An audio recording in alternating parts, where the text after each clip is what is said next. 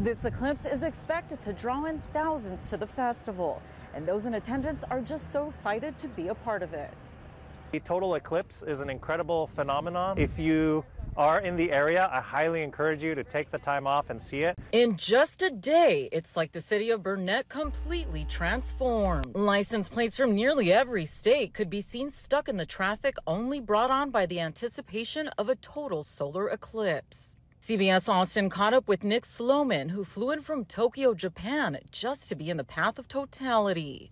Uh, so I came in yesterday from Tokyo. It was about a 20-hour trip to get here. I always try to come early to these festivals because uh, if you do come, you know, last minute, yeah, they can be backed up. Last eclipse for me was in Oregon in 2017, and I heard for some of the people who came later, there was like a 16-hour uh, traffic jam. So Lines of cars could be spotted outside of the festival and throughout the grounds. It runs through April 9th and is expected to draw upwards of 50,000 people to the area.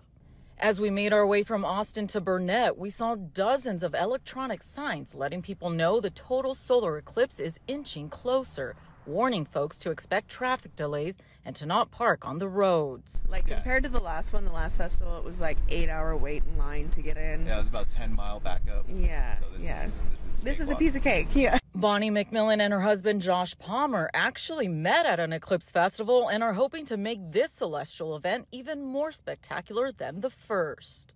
We we went to the uh, original solar eclipse festival that happened in Prineville like in seven Oregon, years yeah. ago, and that's where we met. And, and, this is our honeymoon. This is our honeymoon.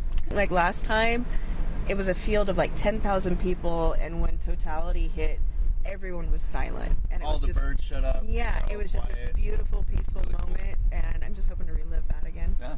Another thing you definitely want to prepare for is the weather. It was already pretty warm out Friday and is only expected to get warmer over the weekend.